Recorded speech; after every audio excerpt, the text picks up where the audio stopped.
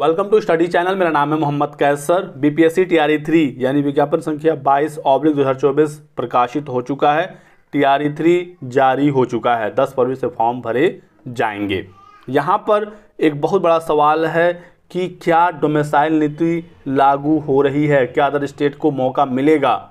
मिलेगा तो कितनी सीटों पर मिलेगा? नहीं मिलेगा तो क्या इसका कोई ऑफिशियल जानकारी है? बात करेंगे डिटेल में। लास्ट तक बने रहिएगा। टी आर थ्री का ऐलान तो हो ही गया। नोटिफिकेशन भी आ गया।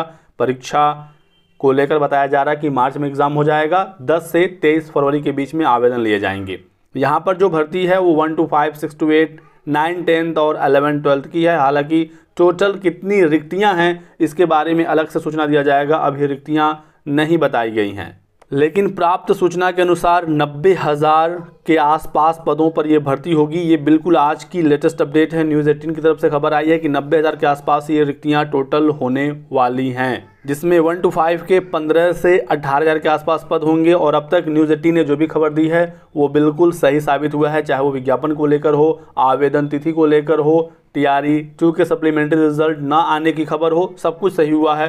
और इस बार भी उम्मीद है कि ये खबर सही है। तो पंद्रह से अठारह हज़ार प्राइमरी के पद होने वाले हैं। सिक्स टू एट के दस से बारह हज़ार पद होंगे। विषयवार अभी कितने अलग अलग पद हैं, ये नहीं जानकारी मिली है। नाइन टेंथ में दस से पंद्रह हज़ार पद। सबसे अधिक रिक्तियाँ हैं प्लस टू यानी अलेवन ट्वेल्थ की शिक्षक भर्ती में चालीस हज़ार वैकेंसी संभव है। टोटल पदों की संख्या नब्बे हज़ार के आसपास जाने वाली है। ये खबर पक्की है कि डोमेसाइल नीति लागू नहीं किया गया है। टीआरई थ्री में टीआरई वन और टीआरई टू में भी डोमेसाइल नीति नहीं था, लेकिन एक बड़ा फैसला बिहार सरकार द्वारा लिया गया है, उसके बारे में हम लोग समझते हैं, जिसकी वजह से अदर स्टेट के जो मौके हैं, वो काफ़ी कम हो जाएँगे और जो नौकरी है, वो मैक्सिमम बिहार के छात्रों को मिलेगी। हर राज्य सरकार अपने राज्य के बारे में सोचती है तो ये कहीं से भी गलत फैसला नहीं है। बिहार सरकार भी चाहती है कि उनके राज्य के ही छात्रों को अधिक से अधिक नौकरी मिले। तो देखिए दोस्तों, यहाँ पर लेटेस्ट जानकारी क्या निकल कर आई है कि तीसरे चरण में नया आरक्षण कानून लागू होगा।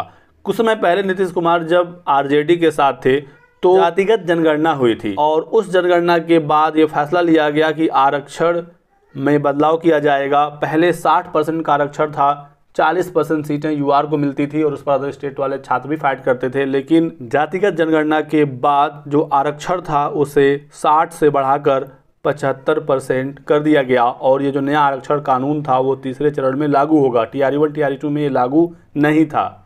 यानी कि सिर्फ़ 25 परसेंट सीटें बच रही हैं यूआर के लिए और इस 25 परसेंट में से भी आधी सीटें महिलाओं के लिए रिज़र्व हो जाएँगी।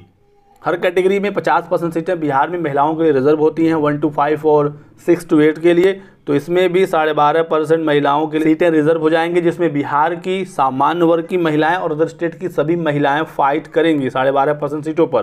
पहले बीस परसेंट सीटों पर ये फाइट करती थी। ठीक है? और बची जो साढ़े बारह परसेंट सीटें हैं, सिर्फ़ यही यू आर मेल को सीटें मिलेंगी। यानी कि यदि नब्बे हज़ार के आसपास सीटों पर भर्ती आ रही है तो नब्बे हज़ार का साढ़े बारह परसेंट, ग्यारह साढ़े ग्यारह हज़ार के आसपास सीट हुआ और यही सीटें हैं जिस पर अदर स्टेट के स्टूडेंट फाइट कर सकते हैं। और इसमें भी ये नहीं है कि इस पर सिर्फ़ और सिर्फ़ सामान्य वर्ग के छात्र फाइट करेंगे। रिजर्वेशन का मतलब ये होता है कि पचहत्तर परसेंट तो फिक्स है सीटें जिस पर बिहार के ही छात्रों को नौकरी मिलेगी।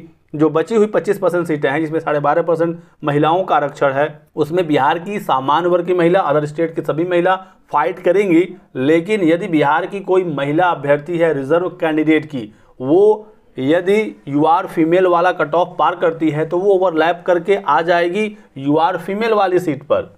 तो रिजर्वेशन का मतलब ये होता है आप समझिएगा, ऐसा नहीं कि 25 परसेंट सीटें सामान्य वर्ग के अभ्यर्थियों को दे दी गई हैं, उस पर जनरल वर्ग अभ्यर्थी फाइट करेंगे। यू आर मतलब अनरिजर्व सीटें हैं ये, अनारक्षित सीटें हैं, और इस पर सबको मौका मिलता है। तो साढ़े बारह परसेंट महिलाओं का आरक्षण अलग करने के बाद साढ़े बारह परसेंट सीट बची, और इस पर बिहार के सामान्य वर्ग के पुरुष अभ्यर्थी अदर स्टेट के सभी पुरुष अभ्यर्थी, साथ ही साथ बिहार के जितने भी अभ्यर्थी हैं किसी भी कैटेगरी के हों, यदि उनका जो मेरिट है, वो यूआर मेल की मेरिट से ज़्यादा है तो वो अपनी सीट छोड़कर यहाँ पर आ जाएँगे। तो सोच सकते हैं कि कंपटीशन यूआर सीट पर काफ़ी तगड़ा होगा स्पेशली पुरुषों के लिए। महिलाओं का तो चलिए फिर भी साढ़े बारह परसेंट का जो आरक्षण है, उसमें सिर्फ़ महिलाएँ ही रहेंगी। तो ये पूरा सिनेरियो है।